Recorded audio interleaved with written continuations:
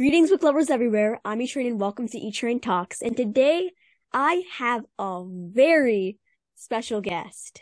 This is Janae Marks, the author of A Soft Place to Land, on air with Zoe Washington, which is coming next week, February 14th. From the desk of Zoe Washington, her first book. And she's also took part in the Hope Wins anthology, which featured amazing authors like James Ponti, Stuart Gibbs, Adam Gidwitz, and a lot of others.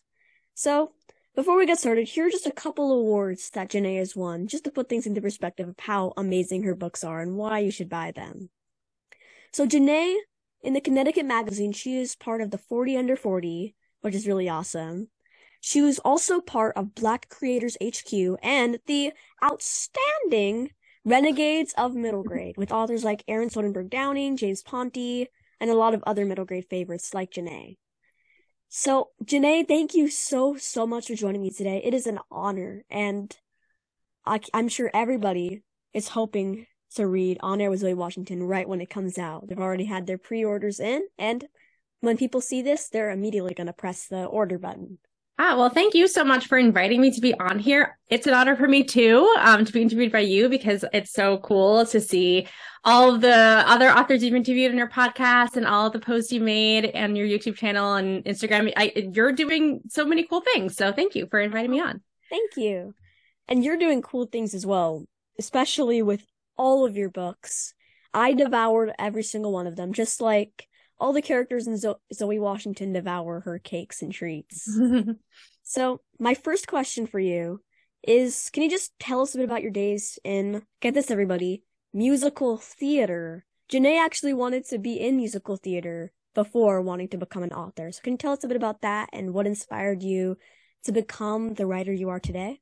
Yeah. So when I was growing up, um, I think I might have been in the fourth or fifth grade when my parents took me to see my first Broadway musical. And I just fell in love with it, you know, just seeing musicals. Luckily, we lived in a suburb. I grew up in a suburb right outside of New York City. So every once in a while, you know, we could go into the city and go see a show. And I just loved it. Um, and I loved singing, um, too. So I would often, you know, see the show, get the soundtrack, bring the sound, you know, play the soundtrack. Back then it was all CDs and like blast them in my room and sing along. And I just loved that so much. And so in high school, I started to think more about like, oh, like if I really love musical theater this much, I should try to be more involved with it at school. So I, you know, I joined a few of the plays my freshman and sophomore year in school. Um, and I was part of the chorus and just kind of, it just a lot of my favorite activities in general, just in high school were performing arts. Like I did dance class. I took, um, you know, I took voice lessons at one point. I took some acting classes in like a local place at one point.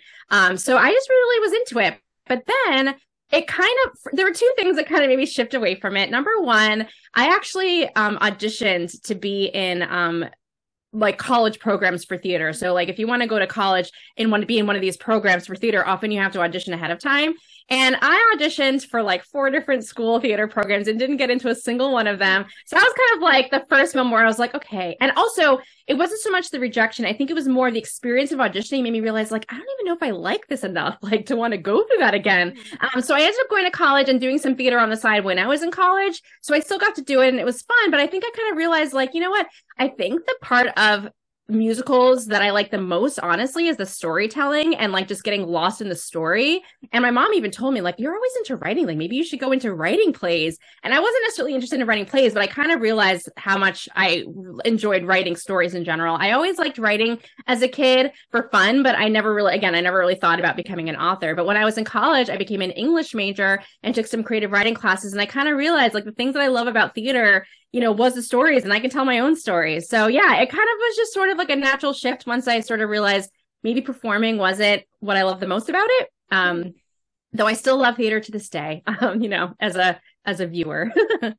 well, I'm sure we are all so, we're all grateful that you kind of went from musical theater into writing because now we have all your three and I guess you could say one twelfth yeah. in Hope Wins to show for it. Yeah. And do you still blast music like from the 90s, 2000s, or whenever, whatever your jam is and sing it in the shower or something? Oh, totally. Yeah. I, um, if anybody has read From the Desk of Zoe Washington, they'll know that there's a lot of songs in there. And mm-hmm. it was really fun to pick out some of those songs because some of those were the songs that I listened to when I was a kid or, you know, a teen. Um, so yeah, I still, and even Broadway, you know, songs, I still will see plays, you know, now and, and get the soundtrack, you know, on my phone and I'll play them, you know, when I'm doing things. So I still very much appreciate music. Um, you know, yeah, it's definitely still a big part of my life. Well, I love musical theater too, and everything about music, it brings people together a lot like books. So that's kind of there are a lot of connections between music and stories, and sometimes mm-hmm. there are music stories. And yeah, exactly. I feel like so many of these works, you know, whether it's music, books, theater, are about telling some sort of story through a medium. So I think they all kind of connect. Yeah. And my next question is one that I'm very, very excited to ask. As I mm-hmm. mentioned earlier, from the On Air with Zoe Washington, the sequel to From the Desk with with of Zoe Washington, it is coming this Tuesday. From the time of yeah. recording, it's coming February 14th, and I am so excited. I have my own copy right now, but I I would want to order it again and again just to read it for the first time once more. And can you tell us a bit about on air with Zoe Washington, but without spoiling anything. Yeah. So yeah, it's it is kind of hard to talk about it because it definitely spoils the first book. But essentially, if you read the first book, which tells the story of, you know, Zoe and um kind of redeveloping a relationship with her father who's been incarcerated her whole life. Um, and then in that story, she ends up finding out that he might be innocent of his crime. And so she ends up trying to uncover the truth. So by the end of the book, you kind of you know, there's an epilogue. Um, and, you know, if you kind of got to the end and you're like, oh, I wonder what happens next. Um, I kind of, you know, this is the next book really goes into what happens next after that epilogue in the first book. Um, so certain things that are, you, if you liked the first book, that'll be in the second book again, are tons of baking again. Um, there's a lot of family themes, especially, you know, again, more relationships with, um, Zoe and her parents, um, and still friendship themes as well. So, um, yeah, like I think that, if you like the first book, um, you should hopefully really like the second one as well because it continues the story and a lot of the same themes. And speaking of friendship themes, I don't think this is a spoiler, but her Zoe's two best friends kind of become a thing if you're interested in Yeah, there's a crush. Um yeah. yeah, there's you know, she ends up being kind of put in the middle of her two friends liking each other and admitting to her that they like each other and that becomes a whole thing because you know, she feels a little bit left out. So that's definitely a a, a new um you know challenge she has to deal with in this story yeah that's kind of what happens when you grow older and, and you're in your teen years i don't have experience because i'm not a teen yet and i'm honestly really scared for that i know I know, and that's the thing. Yeah, it's like with this age group, writing for this age group, you know, not everybody is interested in that yet. And I think even in the story, I kind of go into how Zoe's herself is not really interested in that yet, but it happens. It starts to happen. And I remember being in middle school and, and it's starting to happen to me too. Like some of my friends are starting to be interested in that stuff. So yeah. Yeah. and that's kind of what middle grade is for to teach you about like like don't be scared about this kind of stuff. It's going to be happening. Of, of course you can be really scared like yeah, but it's okay. It's, it's going to happen and it's all kind of part of the process. And mm-hmm. speaking of processes and all that kind of stuff, and from the desk of Zoe Washington and the sequel, On Air with Zoe Washington, baking is one of the central themes. And process, baking is really a process. I've only baked a few things, uh, like with my mom, but the process is just sometimes grueling, sometimes it's always really fun. Mm-hmm. So, being so baking brings Zoe and her father Marcus closer together, and that makes Zoe so happy, and also Marcus as well. So, why did you choose baking as a way to bring Zoe and Marcus close together? And are you a fan of baking yourself? Yeah, so I decided to add baking to the story because when I was coming up with some of the other, you know, plot lines in the first book, you know, I realized that some of them are kind of heavier, you know, like her engaging with this idea of whether or not you know Marcus has been wrongfully convicted, just thinking about you know the prison system and that sort of thing. Um, so I decided to add something lighter, and so I was like, well, what is it that I like? Um, even if I'm not an expert in it, because I am, I am, I do enjoy baking, but I'm not an expert baker. I don't bake all the time. I bake every once in a while. Um, but it is something I enjoy sometimes, but I'm not at any we're close to Zoe's level, but what I do really enjoy is watching all of those baking competition yeah. shows that are everywhere now. So like the the Food Network's Kid Bake Championship is the one that kind of really inspired um, the show that Zoe wants to be on in the first book and sort of her personality around baking because I watched the, that show and there's all these kids and they're really good at baking and they're really passionate about it. Um, and I just was so inspired by that and thought it'd be really fun to make her kind of one of those kids. Um, so yeah, I think I was able to get a lot of knowledge about baking just from watching all of these different shows because you know, at the end of the episode, they have the judges, you know, judging these creations and they'll tell you like what works, what doesn't work. So you kind of start to, you know, notice some trends. so that kind of helped me a lot in writing about the baking.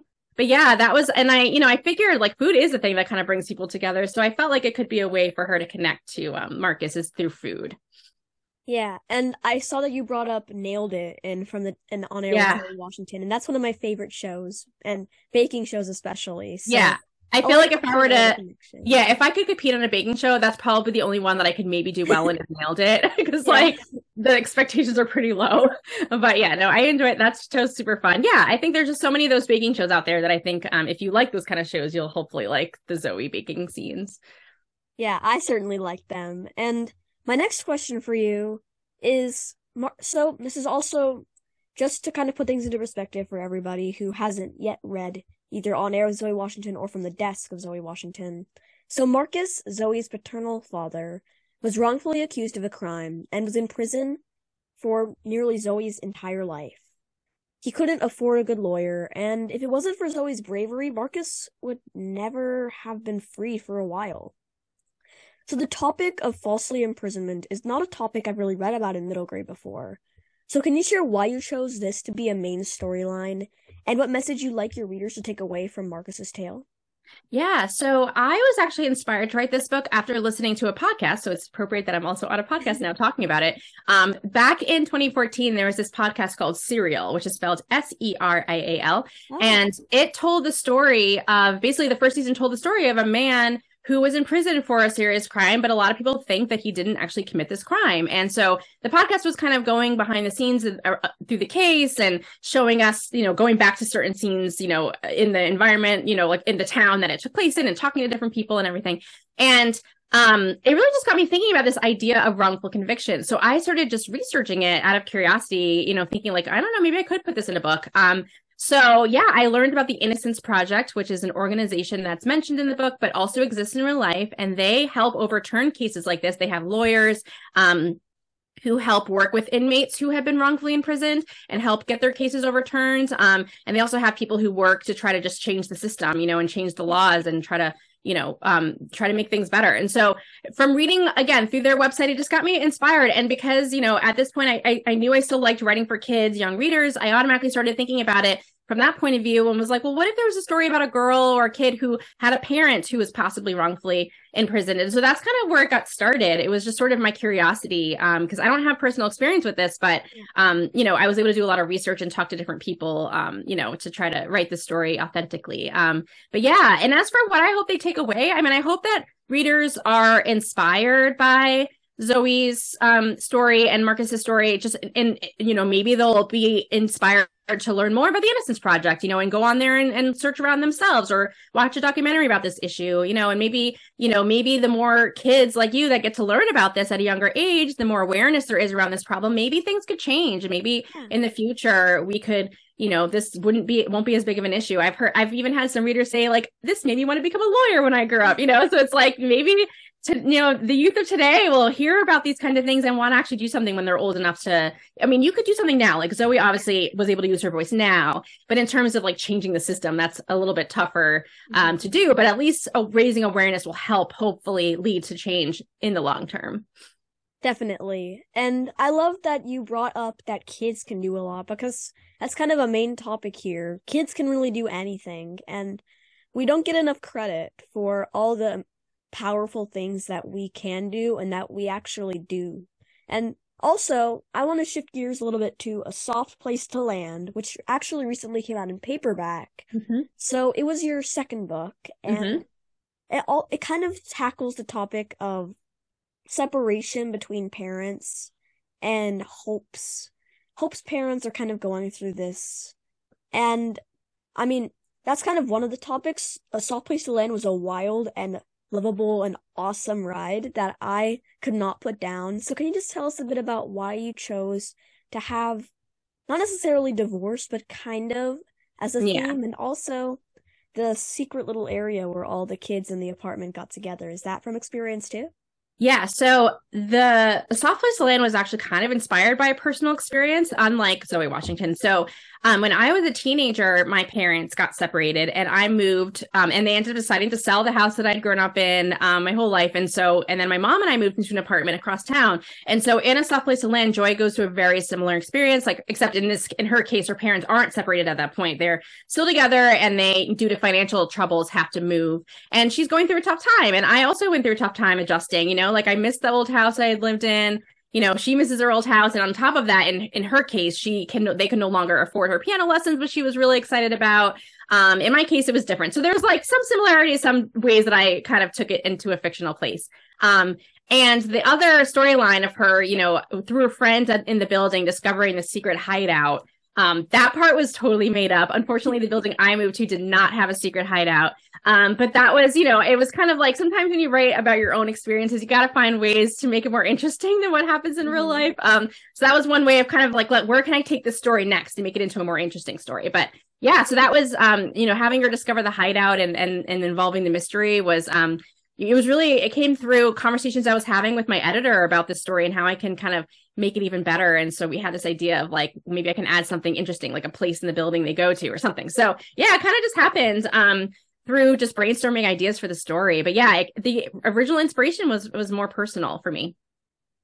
That's really interesting. And I also think that adding the secret hideout because kind of like what happened with Zoe Washington, it's a bit of a heavy subject for yeah. middle graders and young readers.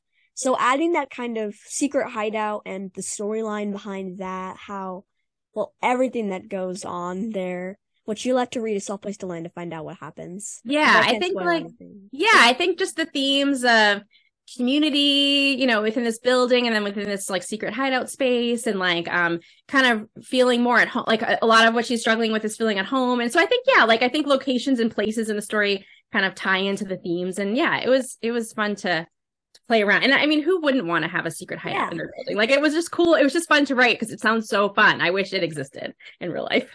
yeah, that did exist. I would want to go to that apartment right away. Yeah, like it sounds so fun. So it does. And my next question is about Hope Wins. So I'm just curious to know how you got involved in the anthology. Did someone did um the editor in chief kind of ask you, or was it kind of through your author friends? Yeah, it was actually the first one. So the editor, Rose Brock, she's an educator who also um, runs uh, in Texas, the North Texas Teen Book Festival. And so that's like this organization that she runs there. And I had been to the festival once and I don't, I, I must have met her there or through other channels, but somehow randomly I just got an email like from her asking if I would be involved in this anthology. So this is actually, they had another anthology um, for young adult readers um, that she'd done a few years earlier. Um, and then she said, Oh, you know, we decided we want to do one for the middle grade readers. And so, yeah, she asked me if I wanted to be part of it. And it was kind of an immediate yes, because I saw the roster of all the other authors that were going to be on it. And I was like, this sounds amazing. Like, you know, um, so yeah, it, it basically explained what the purpose of it would be that we would all write sort of more nonfiction personal stories from our either childhoods or lives that feel hopeful. Um, and this was around the pandemic that she reached out to us. I think we were all, you know, the early days of the pandemic. So I think we were all feeling like, oh, we all need to like be thinking about more hopeful stories right around now. So yeah, that was kind of how I got invited. And then um, when coming up with the story idea, I kind of realized that writing about my long and winding journey to be published um, could be a good story because a lot of kids always ask, you know, how did you get started with writing? How long did it take? Um, and you know, it was a really long, it, it was a yeah. long journey that really did involve me having to have moments of hope in order to feel like it was going to work out. So, um, hopefully kids who have any kind of dream, whether it's to be a writer or anything else, like feel inspired by reading my essay in there. Um, yeah. About how perseverance eventually did pay off. I love that. Perseverance does pay off, and hopefully you'll all check out Hope Wins because yeah. it's such a well, hopeful and also just amazing read with some of your favorite authors. I'm not gonna read the entire list, but there are some really big ones like R.L. Stine. Yeah, I mean, I was yeah. similarly like, like oh my gosh this is crazy you know yeah, having have christina soontornvat janae mm-hmm. marks of course and a lot of great ones and my next question for you is um in preparing for our talk i also read that well, thousands of people have been wrongfully convicted and imprisoned across the United States. And one site even said that there are more innocent people in our jails and prisons today than ever before, which makes a lot of sense and also doesn't at the same time. There's a lot right. of, I guess, it's kind of a heavy subject, so I'm not going to dive too deep into it. But you would think that after all that's happened in this country, that there would be less wrongfully convicted people, that the system would be a lot stronger and smarter and kinder, I guess you could say. So, I'm just curious to know if there's anything that kids or adults alike can do to try and put an end to this, and who is the most likely kind of whether race or anybody to be wrong falsely accused? Yeah. So in terms of what you can do, I mean, it's hard to know. It feels like such like a broken system that it feels like kind of daunting to try to figure out how to fix it. But I do think that the more awareness there is around it, you know, the more that people know about this, um, and can, you know, um, speak up about it, like just, I feel like in general, like when it comes to any issue, the more awareness there is around it, the more likelihood that things could change in the future. I mean, a lot of these kinds of things happen, you know, like not to make this about politics, but you know, when it comes yeah. to those kinds of things, you know, a lot of it can happen in your communities. You know, if you if you feel strongly that like, you know, somebody in your community could vouch for the kind of things that you want, you can vote for them, you know, so that like at the very least, you know, kids who are listening to this who are going to eventually be old enough to vote, that's something you can do because you can think about what are the policies that this person do I care about that this person might be able to help make change? I can vote for them. Um, you know, and but I think just raising awareness, even Zoe in the second book, which this isn't too much of a spoiler because you see it on the cover, she has a microphone just like you. Um, she decides to make a podcast, you know, to share some of her thoughts and, and raise awareness around some of the issues that you know, um, wrongfully convicted people face. And I just think that the more people know about it, the more likelihood that there could be change in the future, whether it's, you know, in a political way or, um, you know, re- you know, even just the people who made that podcast, they were able, the one that I said inspired the first Zoe book, Serial, they were able to make a difference because they told his story and brought so much attention to this to this situation that now he actually has been exonerated um oh, wow. since then um years later it took many years but you know it, it's like and kids can do that too. It's you can you can start be the one to say hey something's wrong here. I want to talk about this. And you maybe you don't have the power to go into the courtroom and make the change in that level but you can you can share and and have these conversations and the more people know about it then hopefully the more people will want to do something to fix it and it'll find its way to the bigger people who have more power. Um so yeah i just think that like raising awareness honestly is i think and just you know informing yourself about these things can be can be a way to help. Um and then who is likely to be falsely accused from my research and the Innocence Project website. And there's also some other um, organizations who have like kind of run the data around this. Um, I found that you know, black people are far more likely, innocent black people are far more likely to be wrongfully convicted than innocent white people. Um, there definitely is a racial element there, um, which is partially why I decided to, you know, tell the story and and make Marcus a black man. Um, when you look through the Innocence Project, even just the cases that they've helped, you can just see the photos. You could just look through the photos and see that the majority of them are are men of color, even. Um, so you know, which to be honest isn't super surprising given like you know the world we live in but um you know is disheartening obviously. So again i think the more awareness that is raised around this um maybe change can be made. Again i i hope that like the prison system and the court system can be more like less less biased and more fair and more kind like you were saying.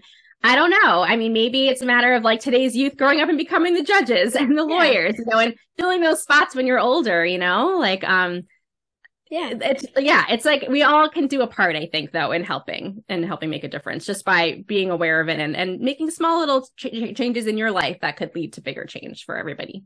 I don't want to sound adulty here but kids we have the power. Let's go out and make a difference. Yeah like if you believe in this so, so strongly you can go. Like those kids that have written to me and said this made me want to be a lawyer. If they went to go be a lawyer they could really make a difference one day a bigger difference i mean now they can make a difference just by sharing you know and being more aware and maybe talking to friends friends and family about these issues, but and when they're old enough to actually be in the courtroom, they could really make a huge difference. If they become a judge, you know, they can make a huge yeah. difference. So it's, you know.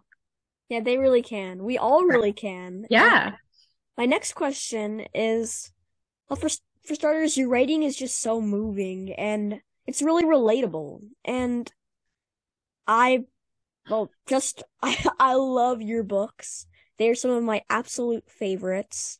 And I'm curious to know do you have any other stories coming out? Is there a Zoe Washington book three, a Small Place to Land book th- book two, or any standalone stories that may become series that you're writing? Oh yeah. Well, first of all, thank you so much for saying that. I'm so happy that you've enjoyed my books. Um, yeah, I am working on more things. I um, have another middle grade novel coming out next year. It's not going to be, it'll be another standalone.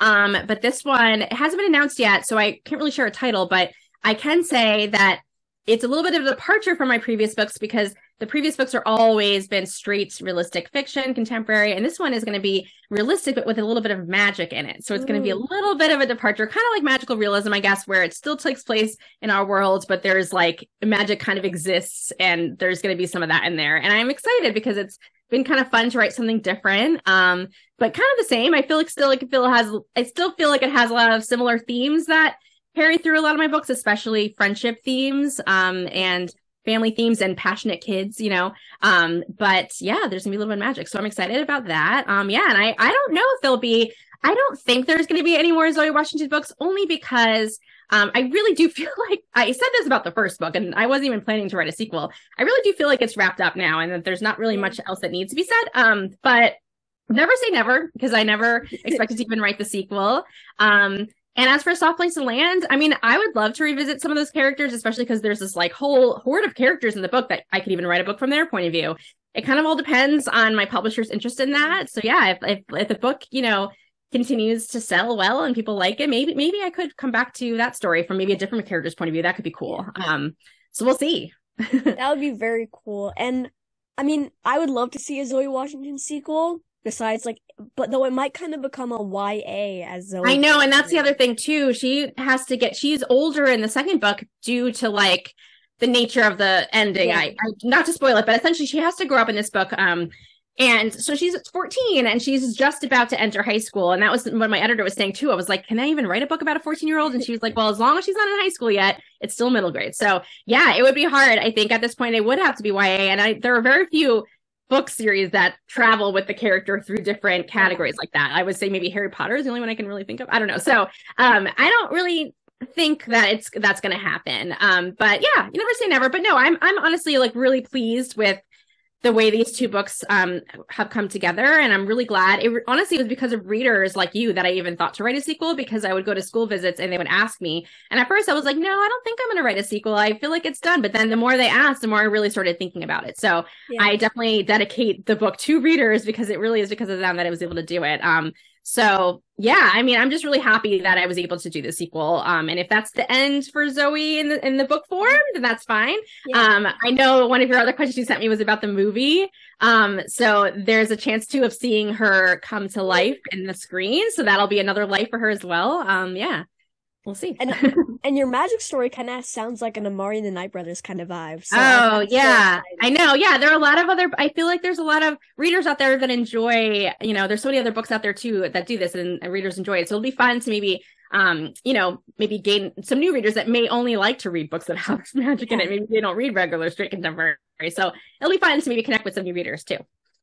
Yeah, it would be a lot of fun. And you brought up the movie, so yeah, I am so excited because in the works at the moment is a Zoe Washington movie. I was so, so excited when I stumbled upon it. And I know that sometimes movies are kind of, they sometimes stall out. I really hope this one doesn't. So, can you tell us a little bit about maybe like if there are any differences between the book and the movie, maybe who the main character who plays Zoe is, and a little bit and anything. Yeah, I wish I had all those details yet. So it is true that sometimes movie studios or producers or whatever will license the right for a book to make it into a movie, and then it doesn't actually happen. Um, so I was aware of that when they signed it up. Um, but because of the way they talked about it and the fact that they ended up bringing in another producer like months after they first so i i first signed this deal with disney channel oh. and they make disney channel original movies um and then months later they decided to bring on kerry washington as producer so now it's also going to be partly with her production studio which is pretty cool and exciting um so because they announced her you know they brought her in they didn't have to do that you know it's yeah. like and then they kept like you know, they kept including it on some recent press releases that they've had around Disney Channel in general. Like they just on the bottom they'll say like, "Oh, so and so is working on this movie." So I, it's one of those things where like it's the the um updates are kind of few and far between at the moment because I think that they're kind of dealing with a lot of other projects that probably got delayed due to COVID. So the last I heard, they're working on a screenplay. So. I hope that you know it will it will we will get to see it and you know actually see it become a movie. But because it's really only in the screenplay um part now, like we don't have like the casting hasn't been decided yet. Like um any of that stuff hasn't been decided yet. I don't even have a date yet. So I'm hoping that like just this year I'll just get more updates and I'll be able to share more updates with you about it. But hopefully sooner rather than later they'll actually start what from what I've heard, a lot of times once it gets to the production stage, then things move quickly. It's just a matter of like before that part, they might be juggling so many things that they don't get the chance to actually start making the movie yet. But yeah, I will see um with the screenplay like what differences there'll be. But from talking to them, it sounded like they really did want to keep it as close to the story as possible, at least like you know the heart of the story you know yeah. they might have to make some changes just because actually showing certain things on camera might be harder than mm-hmm. it was for me to write them but um yeah i think the heart of the story will stay the same from what i from what i gather and i'm very excited just as excited as everybody else to find out more you know yeah and everybody let's knock on wood cross yeah. our fingers and toes and let's keep on waiting and hoping for updates because we all want to see Zoe yeah. Washington come to life on the screen and with Disney Channel and Kerry Washington, like when my dad heard that Kerry Washington was going to be producing this, he was like, "Oh, I she's awesome in a lot of the movies that I like." So Yeah, she's great. And Disney Channel, I mean, they have they have the um the power to make it, you know, they yeah. make movies all the time. So I think it, it feels much more of a sure deal than if it was with anybody else, but we'll see. Hopefully I'll have news soon. Yeah, and I don't know if you can share it on Twitter or Instagram or your um social medias, but we'll keep on waiting and waiting because yeah, as soon as I, as soon as I'm allowed to share, I will absolutely share an update. Yeah. and maybe not that patiently because we all want to see it, but patiently and not patiently, I guess you could say. I know. Yeah, I'm in the exact same boat because you know, like, I, I, one thing that people might not realize too is how oftentimes how little participation authors have you know in in the movies that get made on their books um it kind of depends um if you get take if you get brought on as like an executive producer then you might have a lot of say but if you aren't then you know things might not work out. Like i, I think a good example is rick riordan has famously yeah. said he hates the original movies that were made out of his book. And now they're doing a new series and he's yeah. much more involved in the series now. So he's kind of able to start over and, and make it right. But he was not happy with the movies from what i understand. Um so that happens sometimes and it's because the authors don't always get a say. And so i think i will get a little bit of a say. Like they told me i could consult a little bit but i haven't it just hasn't gotten to that point yet. So we'll see. Um but hopefully we're all happy with it. Yeah i think we all will be and i don't want to talk bad about the first percy jackson movies but well, that's that's that's a topic. Well, just to say, just say that the author wasn't happy. That's yeah, volumes, you know. Like I'm sure he was so excited to have them make a movie, and if he wasn't happy with it, that's that's unfortunate. You know, there may not be bad movies, but he obviously felt like something was missing, or they didn't really capture the heart of the books. And so I'm glad that he gets the chance to do it again. And you know, hopefully that won't be the case for me, but you know. Well, yeah. I love the Percy Jackson books and your books, so mm-hmm. seeing them all come to life and with Disney. Yeah, it is exciting as a reader to see the movie. I I mean, I've watched lots of other adaptations and it's so fun to get to see the characters come to life on screen. Probably so. one of my favorites is Wonder, and that kind of really captures. Oh, yeah, or even the recent Matilda, like oh, yeah. One um, that was a book, you know, like those that I mean, even the first original movie was great, and now the musical is great too. So yeah, there's lots of examples of really good adaptations out there. So I'm hoping mine will be one of those. I really hope so, and I when it when it does start producing, I know so because the Zoe Washington story, as long as you capture the essence of it. Exactly. Like if they have to change a few plot points or you know things like that, it's fine as long as I think the the story as a whole feels true. Yeah. and my next question is so I actually I was kind of shocked when I saw this. So a lot of authors, a lot their books are kind of based in well that they're based in their in their respective like countries, but they don't really kind of translate into I guess well yeah. So Zoe Washington series actually has a UK version, The Faraway Truth. While it's mm-hmm. not actually a different language, I just found it really interesting how you have an entirely new cover and right and an entirely new title. So, can you share if there are any di- major differences in like language? I guess you could say like they yeah. speak English, but there's some words like there's baking involved, and they say biscuits and we say cookies. Right. Yeah. So, From so it was interesting Um, so when they decided to publish the book, it was interesting that they decided they didn't want to keep the title or the cover. I think it's because maybe the phrase from the desk of is not something that like is widely used in yeah the UK, while that's a phrase, you know, people have heard of that here, you know, it's like on stationary sometimes. And um, so I don't know if that's like the main reason. It just wasn't marketable for them. So they decided to change the title, which was fine. Um, and then they decided, yeah, they decided to get a new illustrator to make the cover. So I, you know, I love the way the new cover, you know, I think it's really beautiful as well. So I was happy with that. The only thing that is hard is how people often get confused and think that that is a whole other book that I wrote. Yeah. And they're like, oh, I got your, all your books. Zoe Washington, The Faraway Truth, Soft Place Land. And I'm like, no, Faraway Truth and Zoe Washington are the same book. So inside it's exactly the same. I think they just changed the spelling of some words um, to make them, you know, um, UK spellings. I don't even think they changed things like from cookie to biscuit. I don't think they did that. Um, I should probably go through and look um, more carefully, but I know that they changed things like, you know, the spelling, you know, um, some of their words are spelled slightly differently. Um, but other than that, the story is exactly the same. It just causes some confusion. So I try to make it very clear on my website. This is the same book. And yeah, it's just an interesting thing. I I don't know how often it happens that they change the cover and title. Um, but it did for this case. So, um, and the only other unfortunate thing is that they decided not to publish the sequel. So UK oh. readers if they want the sequel, I'll have to find a way to get the um, US edition shipped to them because unfortunately this yeah. publisher decided not to go. And that's something that I guess happens sometimes. They might change their minds. Um, mm-hmm. but as of right now, um, they felt the first book worked for them and the second one did not. Um, I think a lot of times, like when it comes to foreign rights too, it's like like their readers over there have to kind of relate to the stories as well. And so maybe like, you know, there's a lot of things in this book that are very specific to the US, you know, like the prison system, all that stuff is very specific to the US. So yeah, in some ways it doesn't always translate because it's like that's not the way things are in the UK. So they may not understand. Um, but you know, it's fine. Yeah. and it also got translated into two other languages. Um, oh, it got wow. translated into Turkish. Um, there's Ooh. a Turkish publisher and also into Italian. There's an Italian publisher. So that was pretty cool too.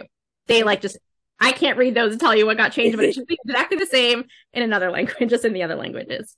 If I were to get my hands on an Italian copy, I'd get like an Italian to English dictionary, have it in one hand, the Zoe Washington, and I know, and just see what is what does it say. And those, and those, they also kind of slightly changed the titles to make them, I think, work more. But they kept the cover, so they they kept the same illustration from the U.S. cover, but they change the title slightly. So it says like you know something else in that language that still has to do with the word zoe, washington is still in there but like they might have just taken out a phrase or something. But so they still look like they are the same book. Um the uk edition is a little bit different but hopefully readers out there will i just keep reminding people it's the it's the same book. Don't buy that one if you're in the if you already have zoe washington in english in the us english. Yeah.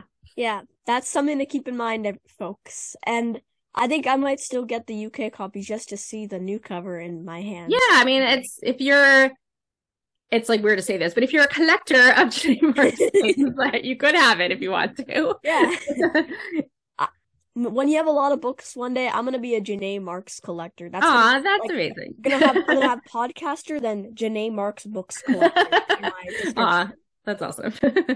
and my next question for you is so you're a fan of the Babysitters Club books, and you were as a kid. And I mean, I love the TV shows. I I've dabbled a bit into the books. I just haven't really read them a ton. As like, I don't know. I think I kind of just miss them, and maybe like I'm definitely gonna get into those soon. After they have graphic novels now, I think that's like the oh, way that it seems like kids are reading them now is through the graphic novel versions, which is pretty yeah. cool. So my question for you is do you ever think back to the books that you read as a kid while writing your stories, like for kind of relatability or just style purposes? Um, yeah, I mean, not in the sense that I go back and reread the books from my childhood necessarily, although I did also really enjoy the Babysitters Club series and was very upset when they said it was being canceled because I yeah. loved them. Um, but um I think it's more that like I think about what I used to like reading as a kid and those books um I loved because they were they had so many friendship stories that I could relate to. Um I just loved like the large cast of characters. I feel like that maybe was like a nice little influence for the soft place to land in that sense. Um and yeah, I do feel like they really did they did still tackle some tough issues in there, you know, sometimes like sometimes the books would be about like a character going through something tough and you know how they all kind of get through it together. And um so I think that just inspired me, you know, in my what I want to write now. Um so yeah, it's not that I've necessarily gone back and reread them, but I do think that like the stories I used to love, like definitely influence the stories that I like to write about now. Um, and another way that I thought back on them, um, sort of is also just in the way that how I can take what I loved about them, but also change the things that now I see could be better about them. For example, um, the Babysitters Club, the the series did a great job with this, but the actual original books were not super diverse. There wasn't a ton of oh, diversity yeah. in them. There was the one, you know, Claudia, the Asian American main character. Mm-hmm. Um, but you know, there was I think one other black girl character that was a minor character in the books, um, but she wasn't there all the time. She wasn't necessarily prominently displayed on the cover. So I think just looking back, I can I can say that I want to you know, I think a lot of authors are thinking this way in general now, just wanting to have more diversity in these books, um, mm-hmm. whether it's through the cast of characters or through your main character. Um, but I would say that the the the show did a good job of kind of changing that a little bit because they did change, you know, and add make yeah. some of these characters diverse that weren't actually originally those identities in the in the book. So I love that about the book about the series also. Um, but yeah, I think like they, don't, you know, I, I'll always think fondly about that series because I loved them as a kid, and I even wrote the author a letter when I was in like the second grade or something. I don't know. Um, and so I just remember, yeah, I was super into those books back then. And I also saw one of the characters from the Babysitters Club on a Nerd Wallet commercial, and I was like, "Oh, really? Oh my goodness, it's the Babysitters Club character." I know, and that's the thing too. Like, I love how that series got a chance to expose us to some new talent. That's like mm-hmm. people will ask me, like, "Oh, who do you want to play Zoe Washington in the movie?" I hope they pick somebody new, like a new yeah. kid, like so that like after this they can go off to do all these other cool things. Like that would be really cool. Um, but yeah, I think really cool. The Babysitters Club did that for some kids too. Yeah, and I can't wait to see. Well, we talked about a little bit, but like Zoe Washington on the big screen, that would be so exciting. And my next question for you is one is uh, one that I ask every single author that I interview. If you could be or meet any literary character, fictional or real, if you could meet your favorite author or your favorite book character, who would it be and why? That is a great question. And uh, it's a kind of a tough question because there's so many really great characters yeah. out there. But in turn, I this is the, just the first one that popped into my head. Um, but I don't know if you've read the series All Four Stars by Tara Dairman. It's a few years old now, but there were three books in the series, and it's basically about this girl named Gladys Gatsby who um, sort of becomes a food critic um, for a major newspaper, but the major newspaper that she's working for does not realize she's a kid because she just everything is over email. So she's like going to these really awesome websites, um, restaurants, I mean, and writing these amazing reviews about them and sending them into the newspaper, and they're publishing them, thinking that she's an adult, but she's actually a kid. It's just a really fun, adventurous story. Um, and there's three books, um, and I loved them, and I think it'd be fun to not be her but meet her because then yeah. I could tag along to one of these amazing restaurants that she gets to um, go to because she's like a foodie and like I sometimes like to be a food. You know, like it's fun to go explore new restaurants and try new things. It would be fun to ch- tag along with her on one of those food adventures that she goes on in the book where she gets to try all these cool things. Um, and yeah, I think it would be fun to follow her around for a day.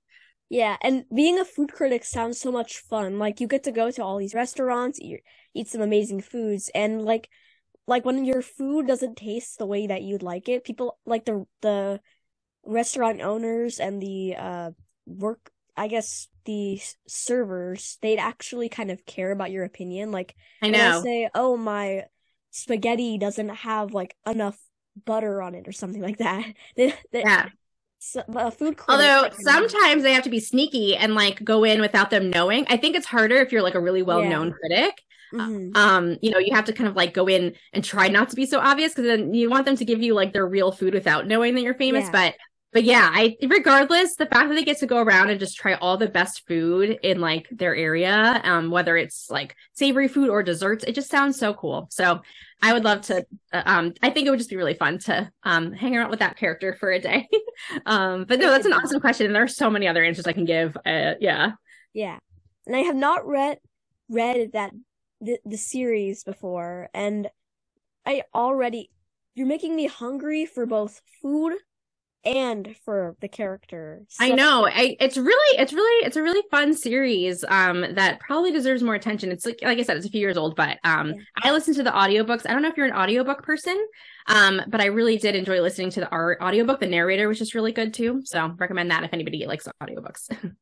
I'm not a huge audiobook person, but I do want to dabble into them a little bit more. So, because like there's school and like all this other stuff going on, so audiobooks kind of feel like something that I do want to try.